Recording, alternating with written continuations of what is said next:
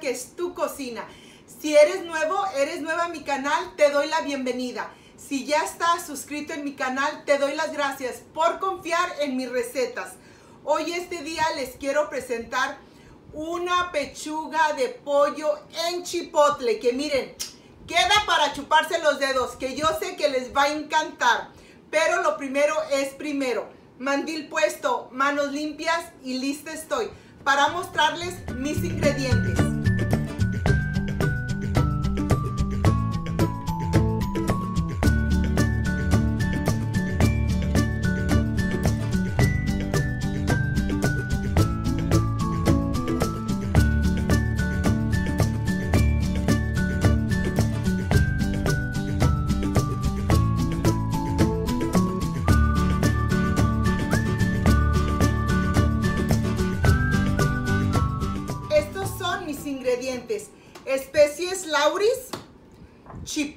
En el adobo, ajo que ya viene bien molidito, caldo de pollo, aceite de vegetal y por supuesto la estrella.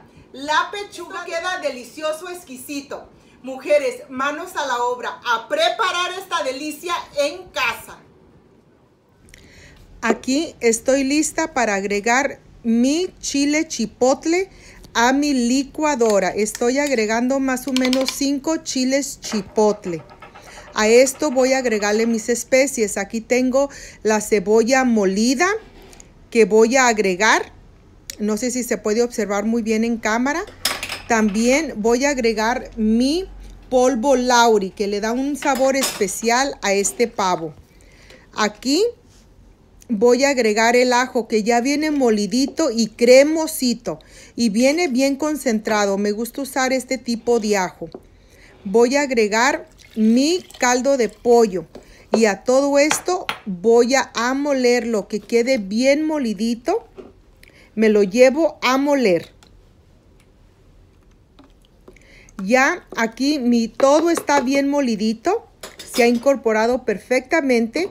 Ya estoy lista para, para, agregar el aceite a mi sartén. Solamente voy a agregar dos cucharaditas de aceite de vegetal y con una servilletita voy a pasarla toda por el fondo y por los lados de el sartencito para que no se me vaya a pegar mi pechuga de pavo.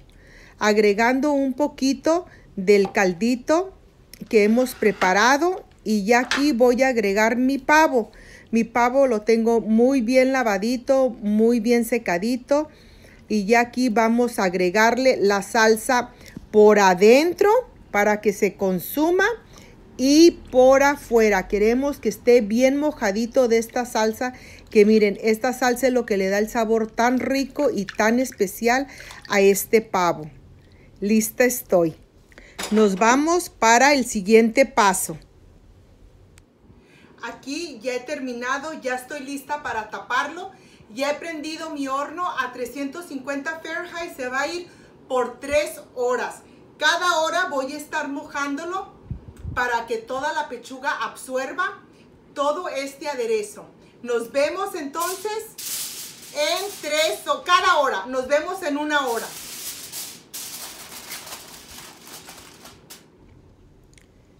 Aquí en este platito quiero agregar más o menos 3 cucharaditas de aceite de vegetal y unos 4 a 5 chiles chipotles. Esto lo voy a moler muy bien molidito. Quiero que vean, si no les gusta mucho el chile, entonces solamente agreguen uno o dos. Pero aquí en casa nos gusta mucho lo picosito. Y aquí voy a empezar a molerlo, que quede bien molidito para que se haga como una pasta. Aquí ya la tengo perfectamente molidita y miren, si pueden observar, está bien hecha pasta. Con esto vamos a agregarlo encima de nuestra pechuga. Miren cómo quedó. Quiero mostrarles que acabo de sacar mi pechuga de pavo del horno, miren, está a 150. Se va a ir una vez más al horno por una hora y media. Vamos a sacarla hasta que ya esté a 170 la temperatura interna. En este momento voy a agregar un poquito de del aderezo encima, solamente encima. Miren, así. Y lo voy a volver a meter al horno. Queremos que todo esto quede bien, bien, bien mojadito. Porque todos estos jugos le van a dar un sabor, pero delicioso, ¿eh? Entonces lo meto una vez más al horno y nos vemos en un poquito.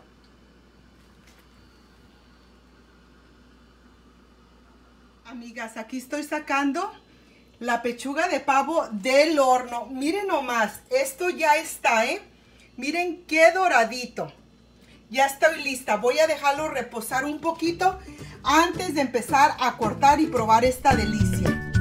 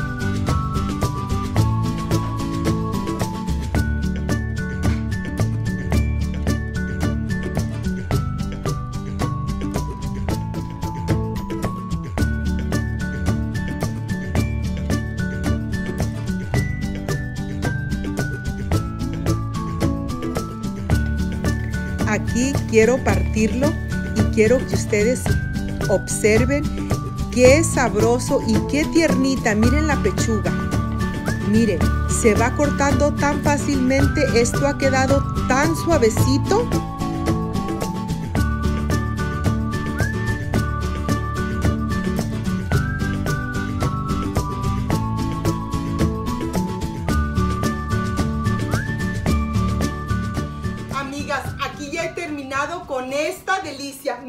Nomás cómo ha quedado este pavo en chipotle. Miren, ha quedado bien suavecito y bien delicioso. Aquí tengo verduritas, pan que no debe de faltar, mantequilla, un poquito de arroz y esa es la parte que a mí más me gusta y más me encanta, probar mis delicias. Vamos a ver cómo ha quedado, ¿eh? Porque esta casa huele delicioso. Ustedes saben que me encanta el chile, ¿eh? Vamos a ver cómo me ha quedado. Esta pechuguita está, miren, bien suavecita, bien tiernita. Y yo ya quiero parar de hablar porque ya quiero probar esta delicia. Permiso. Mmm, mmm. Mmm.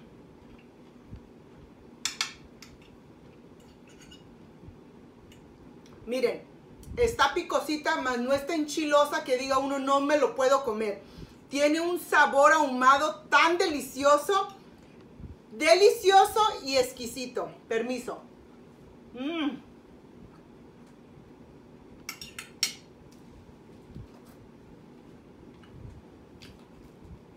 Mm. Esto definitivamente que quedó para chuparse los dedos. Espero que lo puedan preparar en casa. Ya viene el, el día de acción de gracias. Miren, eso es algo delicioso y exquisito.